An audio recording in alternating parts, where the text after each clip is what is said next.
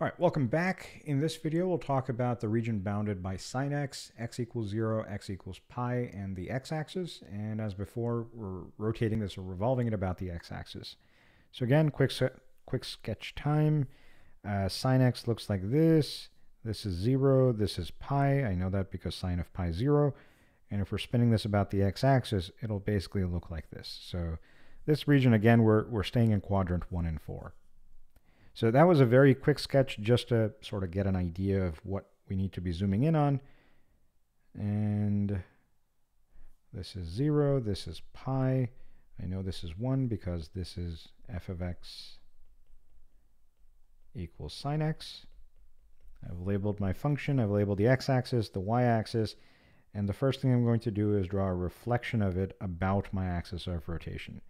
So if I reflect that function about the x-axis, I'm going to get, you know, uh, sine x flipped upside down, or negative sine x rather. Then I pick three trace points. Now here, the left endpoint is already on my axis of rotation. So think about if you're looking at yourself in the mirror and you're three feet away, your reflection will be three feet away from you as well, or from the mirror as well. But if you put your nose right up against the mirror, the reflection's nose is right on the mirror as well. So that's this point is not going to go anywhere. Neither is the point at x equals pi. So we can pick three other points. So this point is going to come out towards you, go back behind the screen, and then go back there. So we can pick this point. It'll go out this way, and then go that way. And then maybe this point goes out, goes back in. So I've drawn my, uh, my 3D representation. I've drawn the way that it's being spun. I've drawn three trace paths or th three points and what paths they trace. I've labeled my function, I've labeled the x-axis, I've labeled the y-axis and my hash marks. So that part of the, uh, the question is finished. Then we need to draw a representative slice. It's going to be a circle. It doesn't need to be that big. Some people want to draw it small, that's fine. Because we're slicing perpendicular to the x-axis, the radius is going to be a vertical distance. So the radius of any of these representative slices will be the distance from the x-axis to whatever the height of the function is. The distance from the x-axis to the height of the function, x-axis, height of the function. So my radius will be this distance, which is r equals y.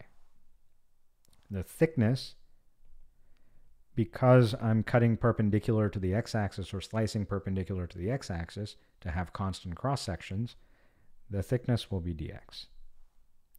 So as before, volume is the integral from where we start slicing to where we stop slicing. We start slicing at 0 on the left end, so the integral will start at 0. We'll go up to uh, pi, because that's where we stop slicing. Pi times the radius squared dx. So we have the integral from 0 to pi of pi times, well, my radius is y, so I'll write that here. And unlike the previous example where y was always 3, in this case the y value will change. So if you think about the distance from this point to this point, that y value is different from the distance from here to here. And that's different from the distance from here to here that or all those y values can be defined by finding the y value of this function at some x value. So if I pick this x value, pi over 2, if I plug pi over 2 into sine x, I'm going to get 1, which in fact gives me the height at this point. And it happens to be 1. So what we can do is say that, well, I cannot integrate a function of y with respect to x, but what I can do is replace y with sine x, which is what y actually is,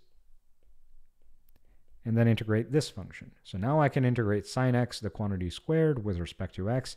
I, I know how to do that.